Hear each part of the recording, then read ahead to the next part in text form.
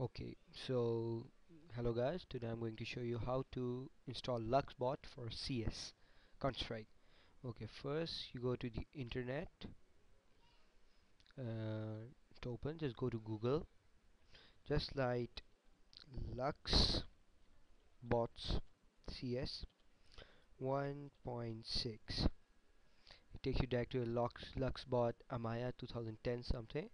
Open up that link when you open up the link uh, page open just go below that and you'll find a zip file. Just click on it and save it. In this case I'm not saving it because I already have this. So all I'm going to do is just save it to any destination folder. I'll open my destination folder and for me it's over here. Mm, record spots okay. This is the zip file. Alright. So this is the zip file. You're gonna extract it. Uh, it will take some time to extract. Uh, extract extract extract extract extract extract extract mm, and it's extract. Okay. You're gonna refresh it. The cs strike folder you're gonna open it. You're gonna copy all of these folder all of these files and gonna paste it in your CS strike folder. Uh, as for me my CS strike folder in local is hmm, go to CS okay in this file there's strike folder.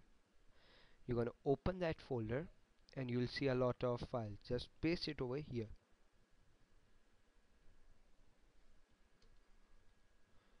Uh, preparing to copy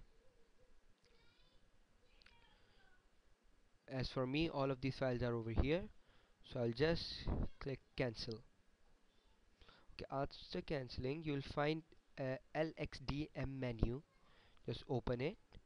Choose your desired settings all you can set all the stuff. Just save it. In this case just save it. Close it. Open up your Counter-Strike uh, 1.6 it opens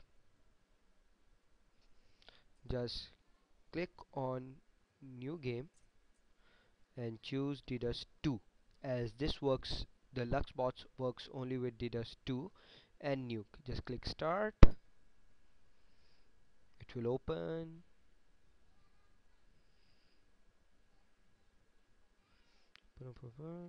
Choose CT go.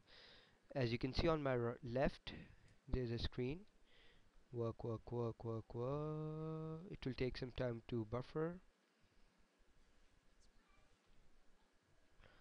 It will take some time to buffer. One second.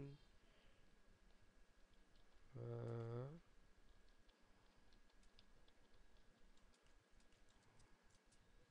here I am with my weapons. Here I am. And you're ready to rock and roll so it's just that easy.